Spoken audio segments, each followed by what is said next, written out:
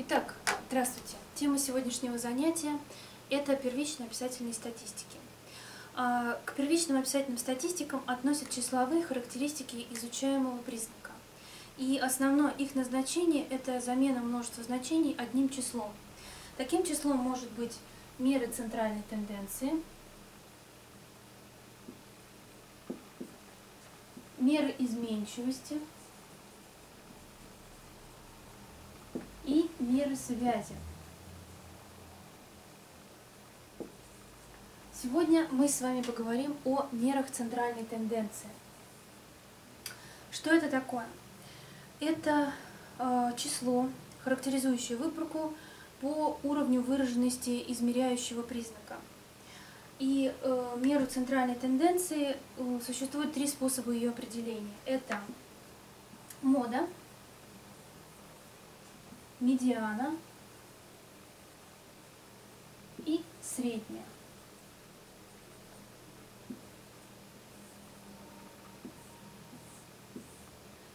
А, проще всего определяется мода. У каждого из этих значений в статистических программах а, используется английское обозначение, поэтому я вам тоже это напишу. У моды оно следующее. Вот так. Кроме этого, есть сокращение, когда вы получаете уже готовый результат, э, ну, как бы после обработки статистической, то обычно в таблицах э, с данными стоит вот такое обозначение МО. Это значит мода. Так вот, мода э, – это значение из множества чисел, которое встречается наиболее часто. Ну, например, приведу пример ряд чисел 3, 7, 3, 5, совершенно произвольно как бы. 7, 8, 7, 6. В этом ряду чисел наиболее часто встречается цифра 7. Поэтому модой является именно цифра 7. Ну или, например, какой-нибудь другой пример.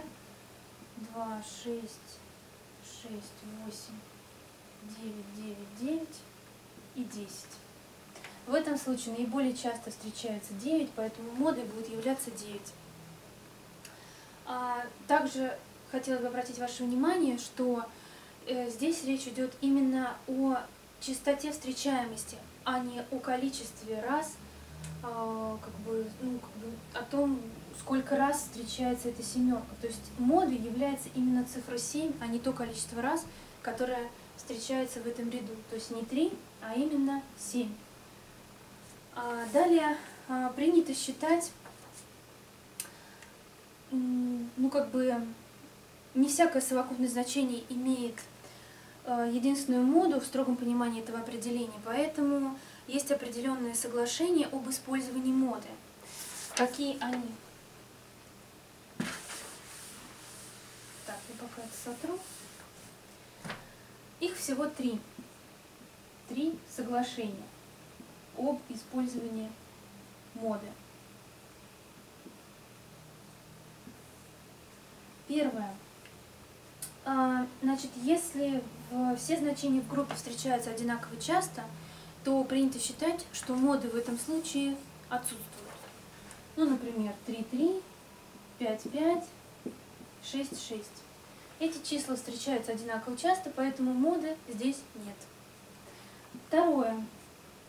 А, в случае, когда два соседних значения имеют одинаковую частоту и они больше частоты любого другого значения, а, принято считать, что мода является средним этих двух чисел. Ну, например, 0, 1, 1, 2, 2, 2, 3, 3, 3 и 4. То есть 2, 2 и 3, 3 встречаются в этом ряду наиболее часто, а, поэтому мы складываем 2 и 3, то есть мода у нас равна 2 плюс 3, и делим это на 2. Получается 2,5. То есть мода в этом случае равна 2,5. И третий случай, а, когда два несмежных значения в группе имеют равные частоты, и они больше частот любого другого значения. И тогда можно сказать, что в этом случае две моды. Ну, например, ряд чисел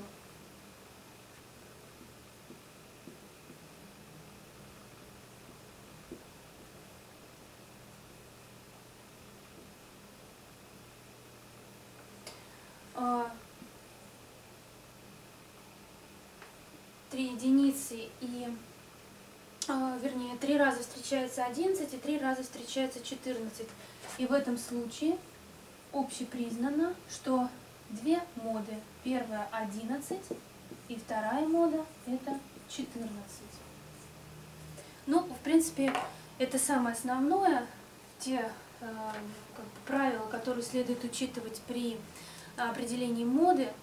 А также стоит знать, что если вы имеете дело не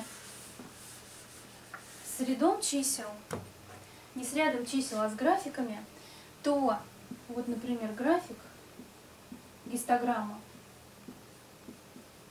то вот на таком графике модой будет являться самая высокая точка. Ну, например, она равна 6. Вот, и в этом случае мода равна 6. Такой график называется унимодальным то есть график, который имеет одну вершину. Если у графика будут два одинаковых значения, например, 4, то модой будет являться уже другое число, и такой график будет называться бимодальным. То есть би означает 2. Это основные правила, которые следует знать. Поговорим далее о медиане. Медиана по-английски звучит как медиан и имеет обозначение МД.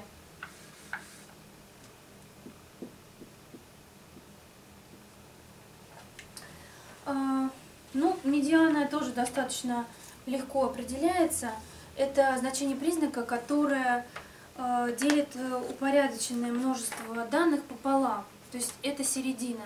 И получается, что те значения, которые стоят перед медианой, являются меньшим числом, а те, которые стоят после, большими значениями. То есть они оказываются меньше медианы, а другие оказываются больше медианы. И э, вычисляется она тоже несколькими способами. Их три. Мы с вами разберем два наиболее часто встречаемых. Э, ну, например, если э, данный содержит нечетное число, то есть нечетное количество э, чисел в ряду, то медианой является середина. Например, 11, 13, 18, 19, 20. Здесь представлены 5 чисел, соответственно, это нечетное число, и медианой является середина, то есть 18. А далее, если в ряду четное число, то медианой является среднее этих двух чисел, которые стоят посередине. Ну, например, 4, 9, 13 и 14. Соответственно, мы берем 9 и 13, складываем их и делим пополам. У нас появляется, получается медиана. А третье, оно очень редко, ну как бы редко используется, в основном используется именно два вот этих способа определения. А, ну, я могу просто сказать, что если в данных а, есть э, объединенные классы, то необходимо провести табулирование данных.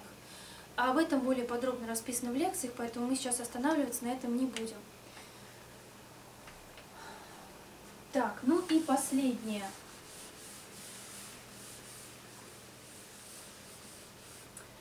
это среднее.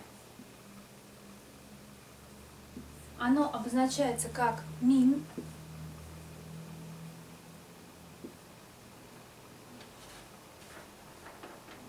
И оно также достаточно легко определяется в ряду значений. Чаще всего оно используется, когда нужно посчитать э, средний возраст или какой-то средний показатель по тесту.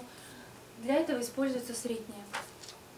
А, ну и чаще всего оно называется выборочное среднее, либо среднее арифметическое.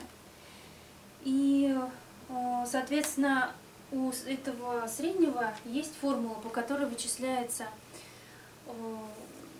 само значение. С виду оно вообще страшновато, конечно, но обозначение у него разное. Мы будем использовать вот такое обозначение. Э, большая буква X с верхушкой, с крышей и с точечкой. А, есть формула у среднего арифметического. Она описывается так –